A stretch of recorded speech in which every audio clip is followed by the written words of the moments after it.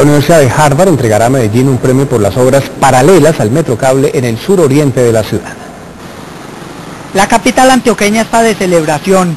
La ciudad obtuvo el premio verde Verónica Rush en diseño urbano otorgado por la Universidad de Harvard. Un plan urbano integral es eh, concentrar integralmente en un territorio acciones de desarrollo urbano y programas de desarrollo social. Con este galardón se reconoció el proyecto urbano integral realizado en la comuna nororiental de Medellín. Son fundamentalmente las comunas 1 y 2 y con ello estaríamos hablando de unas 350 eh, mil personas o un poco más. Ese es el influjo Mm, directo del área de influencia. Para los habitantes de la ciudad, este premio es un reconocimiento a los proyectos de la empresa de desarrollo urbano que buscan mejorar la calidad de vida de los medellinenses. Me parece muy bien porque es que cada vez tenemos que ser mejor y no demostrarle a las otras ciudades que solamente mm, pues Medellín es violencia.